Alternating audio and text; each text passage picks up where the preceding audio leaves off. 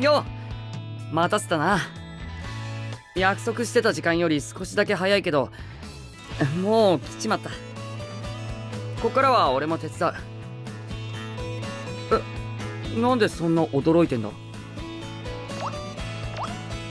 俺と連絡がつかなかったから？マジ悪い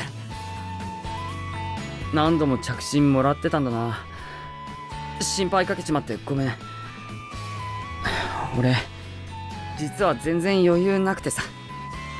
今朝起きて今日は2人きりの誕生日パーティーなんだなって思ったら急に緊張してきて必死に気持ちを落ち着かせながらここまで来たんだ。だからえっとさっきまで扉の前で心の準備してた。どんな顔して会おうかかっこよく思ってもらわなきゃって。許してくれるか？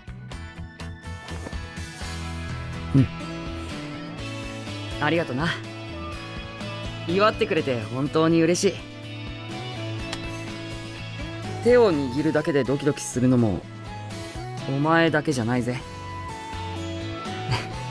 俺たちこういうとこもお揃いだな。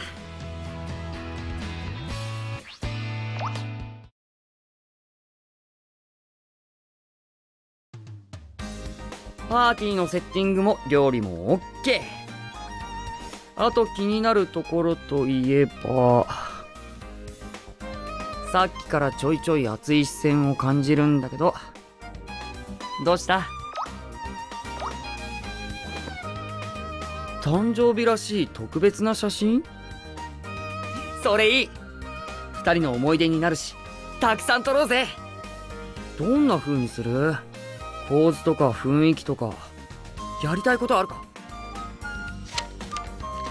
へえこのフォトプロップスお前の手作りなんだ。準備バッチリだしよくできてるじゃん。これなら世界に1枚だけのハッピーな写真が撮れるな。こんな感じ？じゃなくてなんでカメラマンに徹しようとしてんだよ。俺はお前と写りたいの。誕生日の記念なら一緒に撮らなきゃ意味ないだろこの写真見ていつも幸せや元気をもらえるようにな。隣に来いよ。もっと俺にくっつけて。そうだ。カメラじゃなくて俺を見て。そのまま。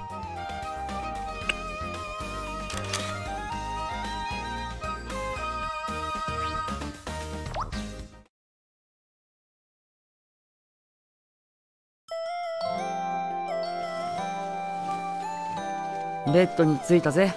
お姫様。眠いなら眠いって言ってくれてよかったのに。そんな無理しなくてもお前の気持ちは十分伝わってる。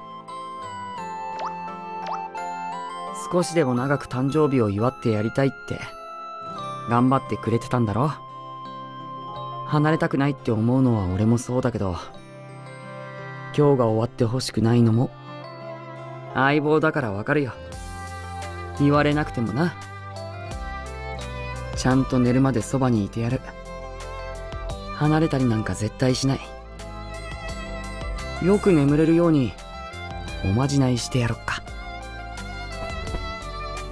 よしよし。夢の中でも俺が全力で守るから安心しろ。朝が来てもいつになったってずっと一緒だ。目いっぱい愛を込めておやすみのキス。ほんと無防備。俺だからって安心しすぎだろう。けどその信頼に応えるよ。今はこれだけ。大好きだ。明日からもよろしくな。